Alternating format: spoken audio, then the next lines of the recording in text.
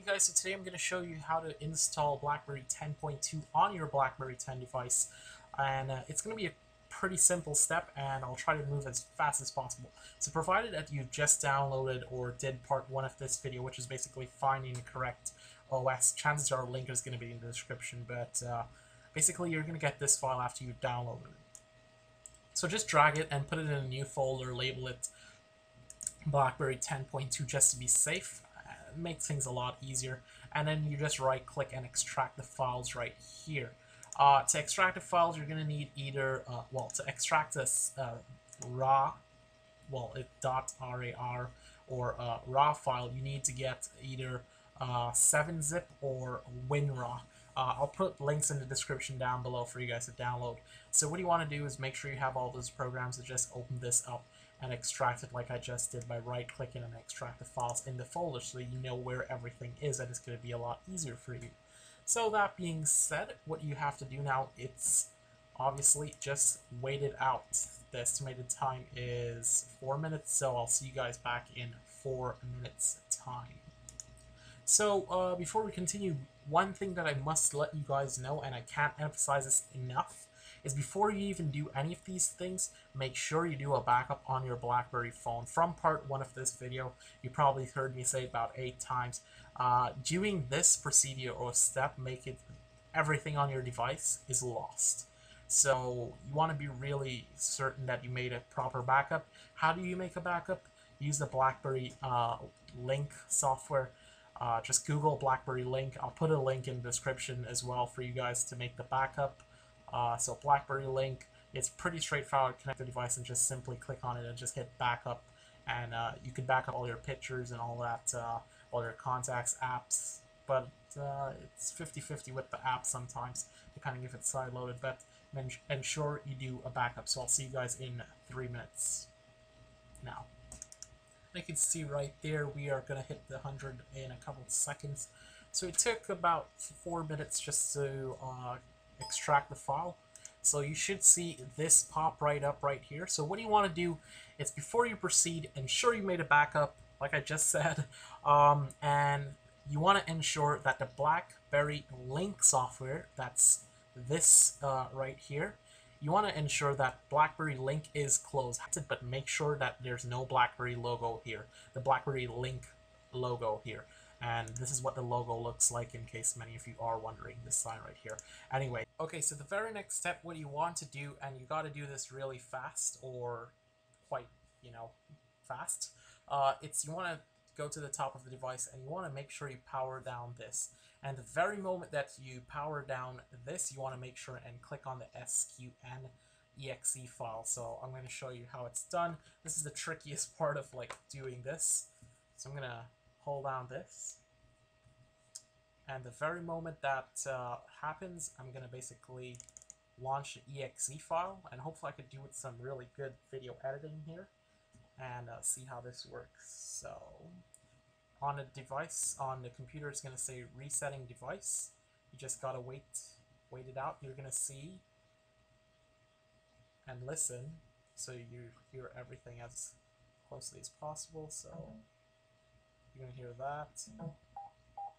You've heard the beeps. And wait for it. So I'm gonna type in type in your uh, passcode that you have on a device.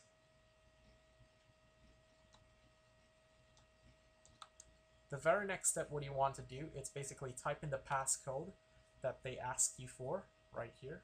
So whatever your passcode is, you want to make sure to enter it and then just hit enter on the keyboard.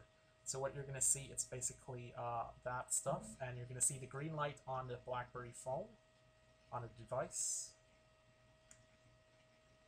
It's going to go green, and on the computer, it's just going to be uh, uploading RAM, image, blah, blah, blah, blah, blah, whatever it is. So.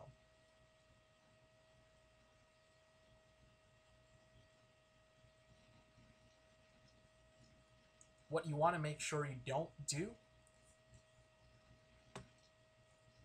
at any point, it's basically you do not want uh, the device to be disconnected or the power to go for some reason.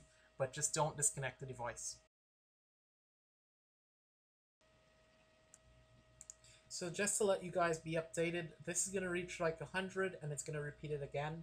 So uh, like I said, if you reach this part, you cannot get back any of your uh, information from the phone. Everything is lost. Um, yeah, so see you guys in a bit.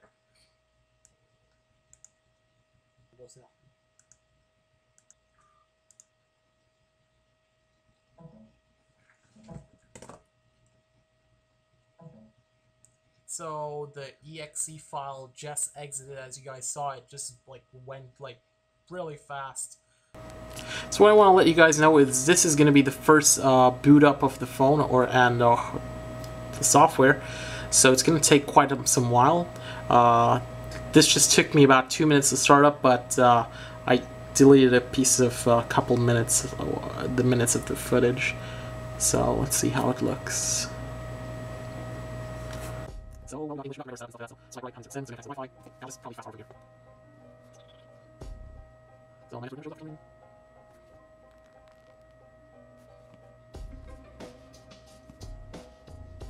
Game, game, game.